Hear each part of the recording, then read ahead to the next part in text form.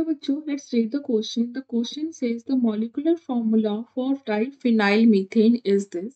How many structural isomers are possible when one of the hydrogen is replaced by chlorine atom? Okay. So let's do the question. Bachcho, the molecular formula is given and the structure is this. Okay.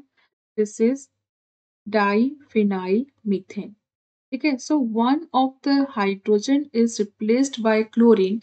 Then what are the possible structure? So let's draw the possible structure when one hydrogen is replaced by chlorine like this. Okay, this is one possibility. Okay, another is the chlorine can be substituted in the benzene ring. Okay, this is CH2 ठीक है? Benzene ring में अगर substitution करेंगे then it may be ortho ठीक है?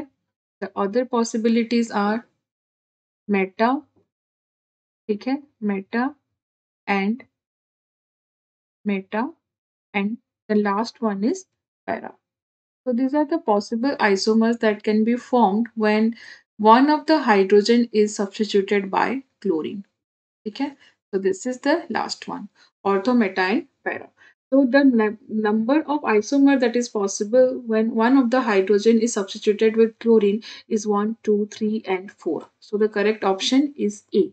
I hope you understood well. Best of luck.